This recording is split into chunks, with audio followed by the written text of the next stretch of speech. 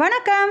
வெற்றி கிச்சன்ல இருந்து பேசுகிறேன் இன்றைக்கி வந்து நான் பார்த்தீங்கன்னா காராப்பொடி போட்டு வெள்ளை கத்திரிக்காய் வச்சு சூப்பரான கருவாட்டு குழம்பு எப்படி செய்யலான்னு பார்க்கலாம். அதுக்கு முன்னாடி என்னோடய சேனலை யாராச்சும் சப்ஸ்கிரைப் பண்ணாமல் இருந்தீங்கன்னா சப்ஸ்கிரைப் பண்ணி வச்சுக்கோங்க. சரிங்க வாடி வாங்க வீடியோவில் போய் எப்படி இந்த குழம்பு வைக்கலான்னு பார்க்கலாம்.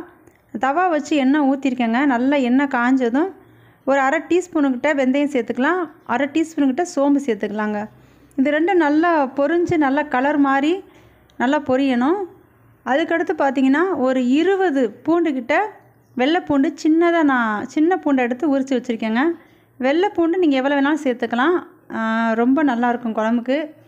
அதுக்கடுத்து பார்த்தீங்கன்னா இது நல்லா செவந்து வரணுங்க. இந்த வெள்ளை பூண்டெல்லாம் நல்லா செவந்து கலர் மாதிரி நல்லா வரணும். அதுக்கடுத்து பார்த்தீங்கன்னா வெங்காயம். வெங்காயம் ஒரு நான்கு வெங்காயம் நல்லா நறுக்கி இந்த மாதிரி பொடிசாக நறுக்கி சேர்த்துக்குங்க. இதுவும் நல்லா வதங்கி வரணும். அதுக்கடுத்து பார்த்தீங்கன்னா கருவேப்பிலை சேர்த்துக்கலாம். அடுத்து காரத்துக்கு பச்சை மிளகாங்க. இந்த கருவாட்டு குழம்புக்கு பச்சை மிளகா தான் நல்ல வாசத்தை தூக்கி கொடுக்கும். அதனால் நீங்கள் பச்சை மிளகா கூட கூட சேர்த்துக்கலாம். ஒன்றும் பிரச்சனை இல்லை. உரப்பு அதிகமாக சாப்பிட்றா இருந்தால் கூட கூட ஒன்று போட்டுக்கலாங்க. அடுத்து தக்காளி ஒரு மூன்று தக்காளி சேர்த்துக்கலாம். அதையும் நல்லா இந்த மாதிரி நறுக்கி வச்சு அதையும் சேர்த்து நல்லா வதக்கிடுங்க நல்லா வதங்கி வரணும். தக்காளி பச்சை மிளகாய் வெங்காயம் வெள்ளைப்பூண்டு எல்லாம் நல்லா வதங்கி நல்லா வதங்கி வரணுங்க. நல்லா இந்த பாருங்கள் இந்த அளவுக்கு வதங்கினதுக்கப்புறம் நம்ம கத்திரிக்காய் சேர்த்துக்கலாம்.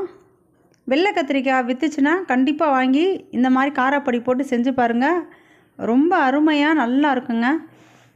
பாருங்கள் இப்போ வெள்ளை கத்திரிக்காய் வந்து நீல வாக்கில் நான் நறுக்காமல் பாதி பாதியாக நறுக்கி போட்டிருக்கேன். பாருங்கள் இது நல்லா நம்ம வதக்கிக்கலாங்க. இதையும் சேர்த்து நல்லா வதக்கிக்கணும். நல்லா வதங்கி வரும்போது மணமாக இருக்குங்க. நல்லா அந்த எண்ணெயோடு சேர்த்து நல்லா வதக்கிடுங்க அதுக்கப்புறம் பார்த்தீங்கன்னா வீட்டில் அரைச்ச மிளகாத்தூள் இருந்தால் நீங்கள் நாலு டீஸ்பூன் யூஸ் பண்ணிக்கோங்க. நான் இது ஐம்பது கிராம் எடுத்திருக்கேன். இப்போ இதை அப்படியே சேர்த்துக்கலாம். நீங்கள் கடையில் வாங்குகிற தூளாக இருந்தால் கூட நீங்கள் சேர்த்துக்கலாம். நல்லாயிருக்கும் குழம்பு. இப்போ இதையும் சேர்த்து நல்லா வதக்கி விட்ருங்க அந்த மசாலா தூள் அந்த எண்ணெயில் நல்லா கலந்து நல்லா அந்த பச்சை ஸ்மெல்லாம் வெளியேறணும். அந்த அளவுக்கு நல்லா நீங்கள் வதக்கி விட்ருங்கங்க அதுக்கடுத்து புளியை பார்த்தீங்கன்னா ஒரு எலுமிச்சம்பழ அளவு புளி எடுத்து கரைச்சி வச்சுக்கோங்க. பாருங்கள் இந்த அளவு நீங்கள் கரைச்சி வச்சு இப்போ இதை சேர்த்துடலாங்க இதை சேர்த்து நல்லா கிளறி விட்ருங்க ரொம்ப தண்ணி ஊற்றாமல் கொஞ்சமாக தண்ணி ஊற்றிக்கங்க அந்த கத்திரிக்காய் எல்லாம் மூழ்கிற அளவுக்கு தண்ணி இருந்தால் போதும். ரொம்ப தண்ணி ஊற்றுனீங்கன்னா தண்ணி ஆயிரும் குழம்பு நல்லா இருக்காது. அப்புறம் உப்பு சேர்த்துக்கலாங்க. இப்போ தேவையான அளவு உப்பு சேர்த்துக்கலாம். இப்போ எல்லாத்தையும் மிஸ் பண்ணி விட்ருங்க நல்லா மிஸ் பண்ணி விட்ரு இதை நல்லா மூடி வச்சு வேக வைக்கணுங்க. பாருங்கள் இந்த அளவுக்கு தண்ணியாக இருந்தால் போதும் குழம்பு. இப்போ இதை மூடி போட்டு நல்லா மூடி வச்சிடலாம். நல்லா கொதித்து வரட்டும். கொதித்து வந்தோடனே நம்ம வந்து கருவாடை சேர்த்துக்கலாங்க. பாருங்கள் தண்ணி இந்த அளவுக்கு தான் இருக்கணும். மூழ்கிற அளவுக்கு இந்த அளவுக்கு தான் இருக்கணுங்க.